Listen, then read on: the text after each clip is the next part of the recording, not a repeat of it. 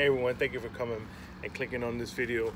We're going to be showing you today how to replace your pool timer if your pool timer has ever went out and it's not functioning, it's not keeping the time and you need to replace it because your pump is either not turning on when it's supposed to or it's uh, running uh, 24 hours a day. So today we're going to be showing you how to replace a 230 volt pool timer. Stay tuned. All right, these are just a few of the tools. Most common ones you're going to be needing to do to replace your, your timer mechanism. If you have a Intermatic timer box like we have right here, uh, simple pair of needle nose pliers, a Phillips screwdriver, flathead screwdriver, a 5 16 nut wrench, and a quarter inch nut wrench. So we're gonna go ahead and we're gonna get started here. All right, go ahead and open up your, your door and on your internal panel, you're gonna be using your 5 16 nut driver and depending on the configuration of the inner door panel, you wanna go ahead and find the nuts and remove them.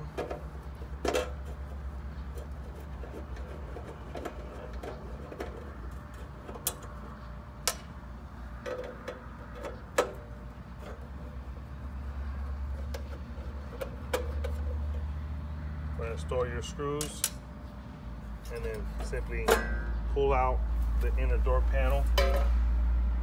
Okay, now next thing you wanna do is, before you touch anything else in here, go ahead and shut down the power and ensure that you have no power coming to the timer itself.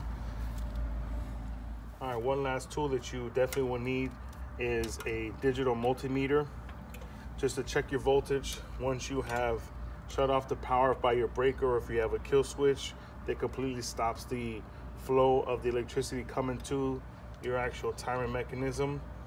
So here we have a light switch that is before all of our power. So what you want to check is your number one and your number three line.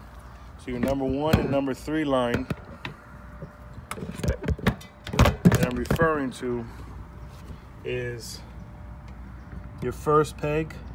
Actually, well, it's your second peg, but they're numbered. It says one, two, three, four. You're gonna be checking your number one and number three. Those two are your load your line side rather. These are your line sides power coming from the circuit breaker to your timer. So your line one and line three is your line and your line two and four is your load. Basically, that's where your pool pump is connected to. So you check your line one and cross it with your line three. Check your multimeter and we have no power here. I'm gonna go ahead, I'm gonna flip the switch right there. I'm gonna check again. See, we have 243 volts. I'm gonna shut the switch off. We have no power. So now it's safe to go ahead and replace this timer mechanism. All right, so the next thing you wanna do is go ahead and get a Phillips screwdriver and remove uh, you can mark the wires if you need to if you have a more complex uh, electrical circuitry going on inside. You have multiple things that may be con possibly connected to your timer, maybe like a salt system or any other uh, low lower amperage needed uh, equipment such as maybe you have a millivolt heater that's connected to your timer so just go ahead and check and um, mark up any of your wires just so that you could put them back in the same order that you uh, have it currently right now.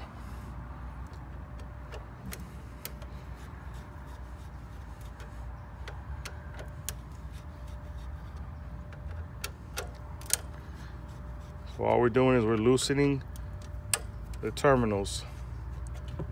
Okay. Now with your quarter inch driver up on the side, you should have it uh, grounded. Go ahead and loosen that up as well. And then when you're needing those pliers you can take the wire from around the the grounding nut okay? Go ahead and pull all your wires out and then up underneath. Once you got all your wires disconnected in this particular panel, up underneath, you have this um, safety pin. Go ahead and press that up. You're gonna press up with it and then pull this mechanism out. It's better done with two hands, but nevertheless, let's see if I can get it done here. There it is, up and out, okay? So this timer mechanism, this is the motor in the back that manages the time and this is how everything is wired, okay? Notice that the motor for the timer, the wiring goes into number one and number three. That is your line side. The line, it's there because so the timer is always being powered throughout the whole entire 24 hour day cycle. So we're gonna go ahead and open up our new one unbox it, and start the reinstallation process. All right, so inside the box, you have a, uh, we have other stickers um, that you can put inside of your, your panel. If uh, there's Spanish and there's French and there's also English. So if inside of your main door, if you don't have a legible uh, instructions, you can go ahead and you can add a new one or just put a sticker on top. There's always an English, Spanish, and French version. Also too, it comes with the instruction manual so you can read that as well on how to uninstall and reinstall and how to set your different uh, pins for a 120 or 230 volt circuit. They're all the same. Also inside you have a new set of pins. We'll be using those. You have your electrical uh, wiring screen that covers the electrical wires and then your actual timer itself okay so with the timer itself it slides up and in and I want to show you this um, the mounting hardware the internal mounting hardware okay I want you to take notice of these triangular stubs on either side. Then you have this, this ledge right here on either side. And then you have your locking mechanism, which is up here. So your timer mechanism has these uh, points around these notches. So it comes up into here, okay? And then that top notch sits right on that ledge and then you just push it back and then it locks in place okay now we're gonna go ahead and unscrew our terminals so that we can slide our electrical wires underneath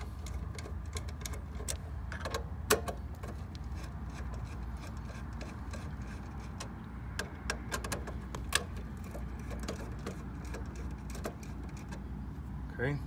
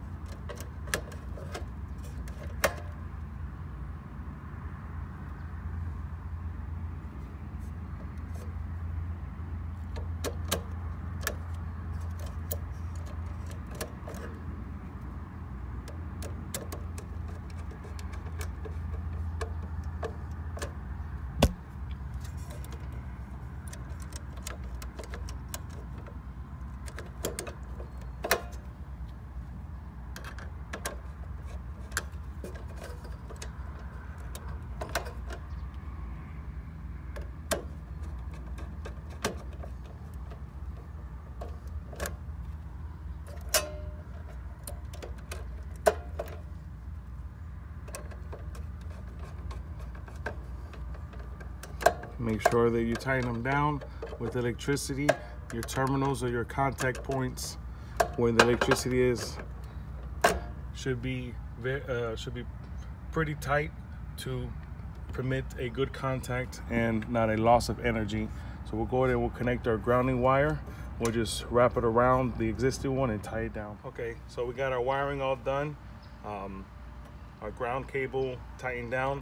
So I, I, will be reusing the old cover, the electrical cover, uh, because it's a, a, shorter version.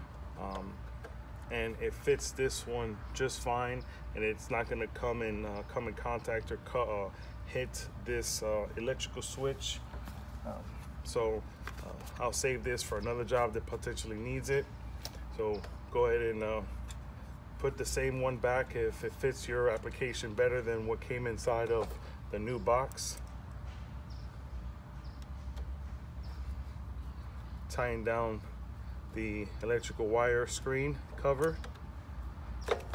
And then when I find these older timers that have this rubber grommet that covers the the switch, I like to take them out and reuse them.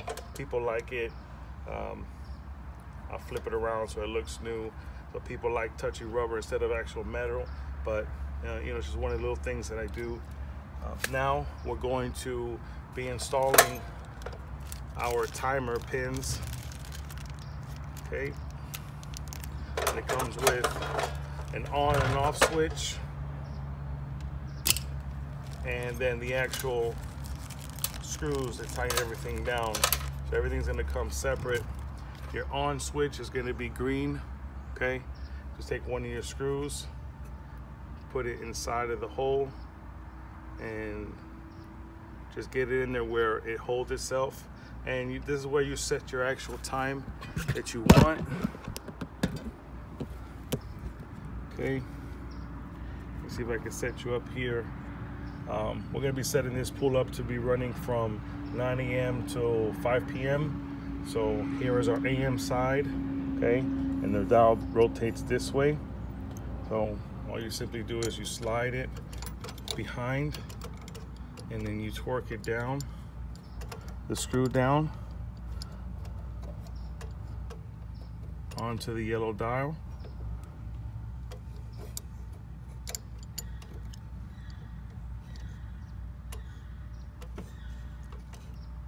Like that.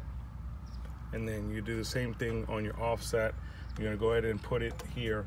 Uh, this is the time that you, this is the arrow of where you set the actual time of the clock. So if that arrow, like our arrow is pretty close to the five o'clock mark, so I'm gonna go ahead and I'm just gonna move, uh, to move it around, you just pull the dial back and then it's freely rotatable. So we're just gonna move that around so that I'm able to put my pin where I want this pump to shut off at. Okay, just make sure that your pins are tight. So we have them set from 9 a.m. to 5 p.m and we're gonna go ahead and we're gonna test everything out. Have your switch off turn your power source back on. And there we go. All right so last thing we have to do is put the panel back together.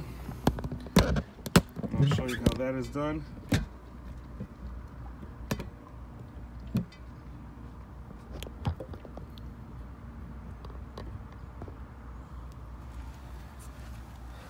So with your panel, you have your two grooves on the outside that matches on the inside.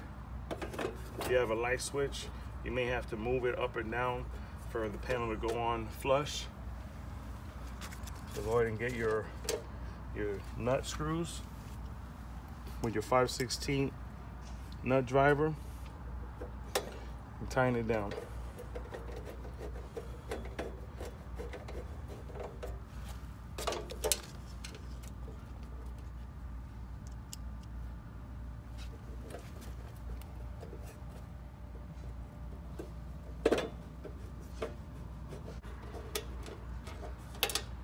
One recommendation I can give you is, see on this door, this door used to have a weather stripping that went along the edge. You can go to Home Depot inside the doors and uh, windows seals section. They have uh, rolls of, of uh, weather stripping. I would highly recommend to go ahead and put a layer of weather stripping here and you can put it down and you can put it across. It's gonna make it a much tighter fit when you do close it down and you lock it in place. But it also is gonna protect any water from seeping in through and potentially wetting your your electrical components inside and your wiring so go ahead and if you don't have this strip or your strip is weathered away or peeling off go ahead and pull a new strip around and that definitely would uh, make your electrical box more secure from water or any little bugs or critters that may be able to seep in between the little cracks. Well thank you so much for watching this video. Hopefully you learned a little bit a little bit detailed of a video. Post your comments down below. Again to the next one. Appreciate it very much. Have a great day everyone